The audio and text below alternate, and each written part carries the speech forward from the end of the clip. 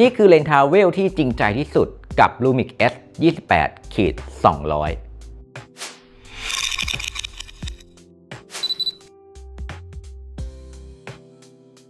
อาจจะบอกได้เลยว่าเป็นเลนส์อเนกประสงค์ที่สุดที่อยู่บนระบบ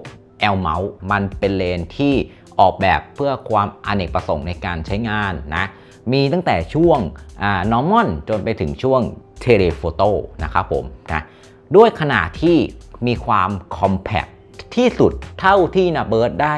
ลองสัมผัสแล้วก็ได้ลองรีวิวมาในกลุ่มเลนทาวเวลด้วยกันนะครับผมไม่ว่าจะเป็นของ Tamron เองก็ดีของ Sony เองก็ดี หรือจะเป็นของทาง Nikon เองก็ดี อันนี้ยอมรับเลยว่าของทาง Panasonic นะครับผมเจ้าตัวนี้เนี่ยนะ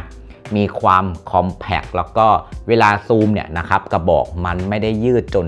น่าเกลียดหรือแบบว่ามันดูยาวจนเกินไปนั่นเองนะครับผมนะ ด้วยน้ำหนักของเขาเนี่ยมันจะไม่ถึง 5 ขีดนะครับผมเพราะฉะนั้นเนี่ยเวลาที่คุณเอาไปประกบกับกล้องนะครับผมอย่างเช่น ในคลิปวันนี้เนี่ยน้าเบิร์ดได้ประกบคู่กับตัว Lumix S9 ทั้งคลิปเลยนะครับก็ถือว่าเป็นอีก 1 เซต combo ที่น่าสนใจอยู่ไม่น้อยสำหรับใครที่เป็นสายทราเวลนั่นเองนะครับผมนะแต่ที่น่าเสียดายนะครับผมสำหรับเจ้าเลนรุ่นนี้นะครับผมนั่นก็คือบริเวณตัวกระบอกของเขาเนี่ยนะ เขาจะไม่มีในส่วนตัวปุ่ม Custom FN นะครับผมที่หลาย ๆ คนชื่นชอบในการที่จะเซตติ้งปุ่มนั่นเองนะ ส่วนตัวกระบอกเขาเนี่ยจะมีแค่ปุ่ม AFMF นะครับผมแล้วก็ตัวระบบกันสั่นมาให้ใช้งานอยู่ที่ตัวเลนส์ด้วยเช่นกันนั่นเอง มันสามารถที่จะเอาไปใช้งานที่มีความจับฉ่ายแล้วก็ยืดหยุ่นได้อย่างสบายๆ โดยเฉพาะใครที่ ไม่ได้ซีเรียสเรื่อง depth of field หรือเรื่องการเบลอฉากหลัง เน้นหวังผลกับภาพที่ได้นะครับผมอาจจะไม่ใช่ performance ที่ดีที่สุดนะครับผมเมื่อเทียบกับเลนส์ fix ในช่วงนั้นๆนะครับผมนะแต่ถ้าคุณเน้นที่แบบว่าเน้นเก็บภาพ เน้นเก็บ feeling เน้นเก็บบรรยากาศ โดยเฉพาะการสายท่องเที่ยวสาย travel นะครับผมน้าเบิร์ดกล้าพูดเลยว่า เจ้าเลนส์รุ่นนี้นะครับผมตอบโจทย์เพื่อนๆได้อย่างลงตัวแน่นอนนะครับผมนะด้วยช่วงตั้งแต่ 28 ถึง 200 เนี่ยบางครั้งนะครับผมคุณอาจจะได้มุมภาพหรือมุมมองที่ดีกว่าเลนส์ fix ทั่วๆไป ซึ่งปกติถ้าเป็นเลนคิดเนี่ยระยะของเขานะครับผมมันจะมีอยู่ที่ช่วงประมาณ 20-60 ของทาง Panasonic เองก็ดีนะครับผมหรือจะเป็นช่วงมาตรฐานอย่างเช่นตัว 24 ถึง 70 ซึ่งแน่นอนครับว่าบางสถานการณ์มันไม่พอนะหรือจะเป็นเลนระยะขวัญใจมหาชนอย่างพวก 24ขีด105 หรือ 24ขีด120 อันนั้นนะครับผมก็ถือว่าขยับขึ้นมาอีกนิดหนึ่งนะครับผมนะแต่ถ้าคุณได้ลองใช้งานจริง ๆ แล้วนะครับผมไอช่วงที่มันถูกเพิ่มเติมขึ้นมาตั้งแต่ 105 หรือ 120 จนมาถึง 200 เนี่ยนาเบิร์ตกล้าพูดเลยว่า มันจะมีบางสถานการณ์นะครับผมที่เพื่อนๆเนี่ยจะอยากได้เลนที่มีช่วงทราเวลในลักษณะแบบนี้มาใช้งานอย่างแน่นอน แต่ก็ต้องแลกกับการที่แบบว่าเลนที่ถูกออกแบบมาในลักษณะทราเวลแบบนี้นะครับเขาจะมีค่า F ที่ค่อนข้างที่จะแคบหรือค่อนข้างที่จะมืดไปสักหน่อยนะครับผมคือช่วงปลายกระบอกของเขาเนี่ยนะมันจะอยู่ที่ f 7.1 ด้วยกันนะครับผมเพราะฉะนั้นเนี่ยถ้าเพื่อนๆเป็นสายทราเวลที่ถ่ายภาพแนว outdoor แล้วก็เป็นช่วงที่แบบว่าแดดเปรี้ยงๆแดดจัดๆนะครับผม อันนี้คุณไม่ต้องกลัวนะครับผม มันสามารถที่จะยังรังสรรค์ผลงานได้อย่างสบายๆนั่นเองนะครับผมนะ มันจะมีฟีเจอร์ที่ออกแบบมาเพื่อรองรับการใช้งานกับเจ้าตัว 28-200 ได้อย่าง ลงตัวทีเดียวนะครับผม อันนี้นาเบิร์เชื่อว่าหลายคนอาจจะยังไม่รู้นะครับผมนะนั่นก็คือฟังก์ชันตัว Hybrid Zoom จะเป็นการซูมเพิ่มเติมจากระยะโฟกัสเลนส์ของตัวเลนเดิมๆที่มีอยู่ มันจะมีให้เราเลือกได้อยู่ 3 ระดับด้วยกัน ครอปที่ 1.4x นะครับผม ครอปที่ 2x นะ แล้วก็ ครอปไปที่ประมาณ 3.1x อย่างเช่นเจ้าตัว 28-200 ตัวนี้นะครับผม เพื่อนๆนะ ถ้าบิดไปที่ระยะ 200 นะครับ ถ้าคุณเปิดไฮบิดซูมอยู่นะ มันจะสามารถซูมได้ไกลสูงสุด เทียบเท่าที่โฟกัสเลนส์600 กว่ามิลด้วยกันนั่นเอง โดยที่ว่าเพื่อนๆนะครับ ยืนอยู่ตำแหน่งเดิม เพียงแค่เปิดไฮบิดซูมเท่านั้น ให้ลองนึกสภาพว่าบางสถานการณ์ เพื่อนๆ ยืนอยู่บนชะง่อนผาแล้วขยับไม่ได้แล้ว แต่ฉันอยากได้ภาพที่อยู่ตรงหน้า แต่ระยะ 200 ฉันไม่พอ คุณเปิดไฮบริดซูมไปเลย อะไรประมาณนั้นนั่นเองนะครับผมแต่ก็แรกมากับการที่ตัวคุณภาพของไฟล์นะครับผมมันก็จะโดนครอปแล้วก็โดนลดทอนลงไปบ้างนั่นเอง แต่อย่าลืมนะครับว่าสิ่งที่คุณถ่ายไปมันเป็นไฟล์ที่ได้จากตัว Lumix S9 ที่เป็นเซนเซอร์ในขนาด Full Frame แล้วก็ Dynamic Range ของ Full Frame แน่นอนครับว่าคุณภาพย่อมดีกว่าการใช้สมาร์ทโฟนที่มีการซูมในระยะไกล ซึ่งถ้าใครสนใจรายละเอียดเกี่ยวกับตัว Lumix S9 ในลักษณะรีวิวเชิงลึกนะครับผม ในช่อง YouTube ของ Zoom Camera นะครับผม ก็มีรีวิวของตัว Lumix S9 ที่ทางทีมงานของเราได้ทำแล้วก็ แชร์เอาไว้อยู่ในช่องทาง YouTube เป็นที่เรียบร้อยแล้วนั่นเองนะครับผมสามารถที่จะเข้าไปดูข้อมูลแล้วก็เข้าไปศึกษาในส่วนนี้ได้ด้วยเช่นกันนั่นเองนะครับผมนะดูจบนะครับผมอย่าลืมนะ ฝากกด Subscribe เพื่อเป็นกำลังใจให้กับพวกเราในการผลิตคลิปต่อไปในอนาคตด้วยนะครับผมนะอะ มาถึงขนาดนี้แล้วนะครับผมขายเลยละกันนะครับผมไม่ว่าจะเป็น Lumix S9 ก็ดีนะครับผมหรือจะเป็นตัว Lumix S28 200 ก็ดีนะครับผมเพื่อนๆสามารถที่จะเข้าไปเลือกชมสินค้านะครับผมในเว็บไซต์ของร้านกล้องสีชมพู ถ้าสินค้าที่เพื่อนๆนะครับผมกดลงตะกร้านะแล้วมันมีโปรโมชั่นที่เกี่ยวข้องนะมันจะมีโค้ดส่วนลดเพื่อให้เพื่อนๆใช้ กดเลือกเป็นส่วนลดเวลาที่เพื่อนๆจะจ่ายตังค์ได้ด้วยเช่นกัน โดยที่ว่าไอ้โค้ดพวกนี้นะเพื่อนๆไม่จำเป็นจะต้องไปนั่งตามเก็บโค้ดให้มันเมื่อยมือแต่อย่างใดนะครับผมขอแค่มันตรงกับโปรโมชั่นในหน้าเว็บไซต์ของพวกเราก็ติ๊กถูกแล้วก็สามารถที่จะสั่งซื้อได้โดยทันทีนั่นเองนะครับผมนะถ้าเพื่อนๆคิดว่าซื้อแน่ละ ฉันไม่สนใจแล้วฉันจะเอาแน่นอนจะ Lumix S9 ก็ดี หรือจะเป็นตัว Lumix S ยี่สิบแปดสองร้อยก็ดีนะครับผมนะคุณหยุดอยู่แค่ตรงนี้พอ ไม่ต้องดูต่อแล้วไปซื้อได้เลยนะครับผม แต่ถ้าคุณคิดว่าอยากรู้ข้อมูลเชิงลึกต่างๆ ของเจ้าตัว Lumix S28 200 เพิ่มเติมนะครับผม คุณรอดูต่อไปในเซสชันต่อไปได้เลย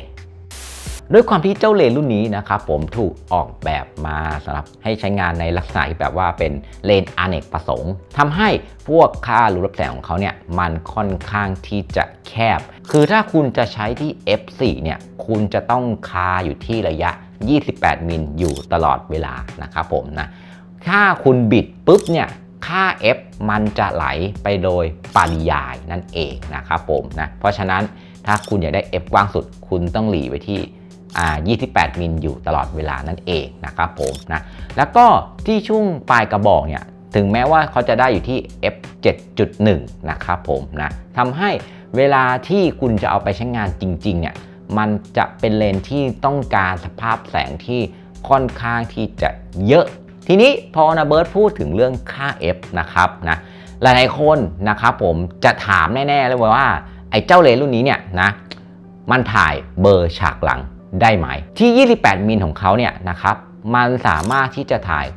ในลักษณะที่เป็นแบบ close up กึ่งกึ่ง macro ได้นะครับผม โดยที่ว่าระยะ 28 มิลของเขาเนี่ยมัน close up ได้ใกล้สุดอยู่ที่ 14 เซนนับจากหน้า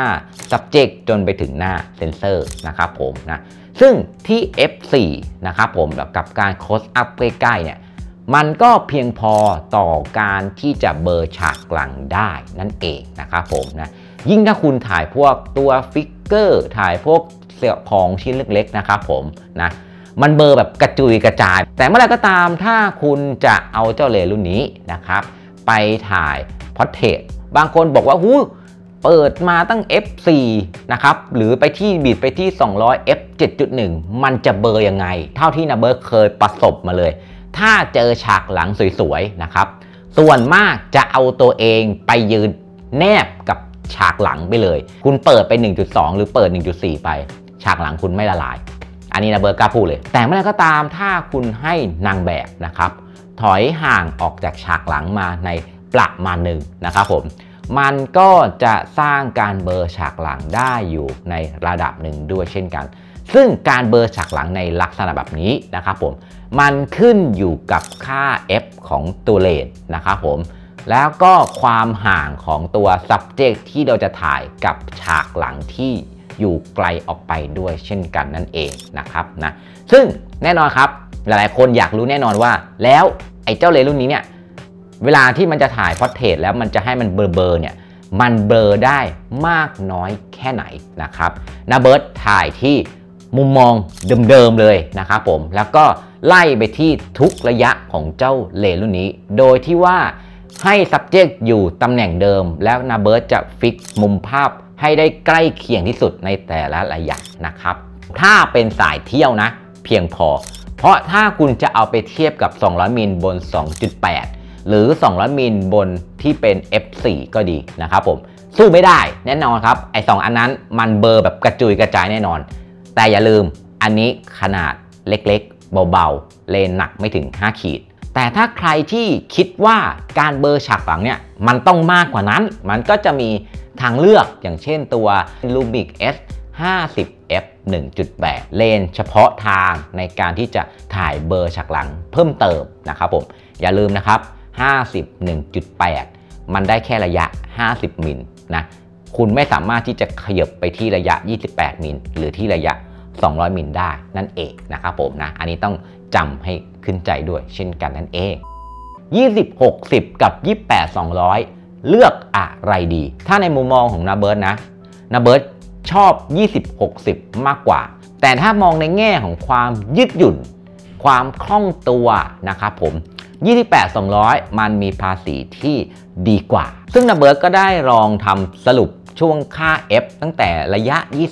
20-60 กับ 28-60 ของเจ้าเลนทั้ง 2 รุ่นนี้ เทียบเคียงกันเลย ต่างกันแค่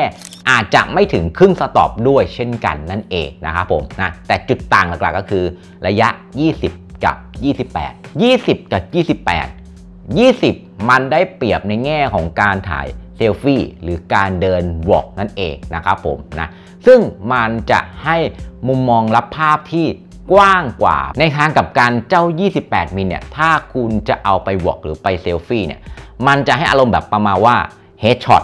อย่างเดียวเลยนะครับผมนะ มันจะไม่เห็นแบบว่ามุมมองของเพื่อนๆที่อยู่รอบข้าง ยกเว้นแต่ว่า